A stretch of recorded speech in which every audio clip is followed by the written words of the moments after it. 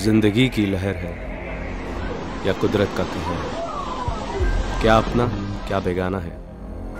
किसने इसे पहचाना है?